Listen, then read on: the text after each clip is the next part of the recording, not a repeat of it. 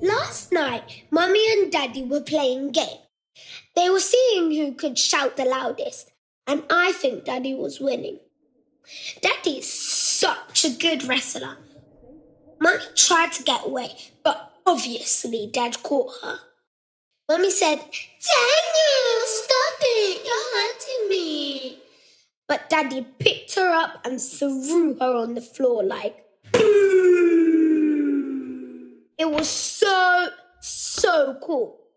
Mummy must have been really tired after the game because she fell asleep on the kitchen floor.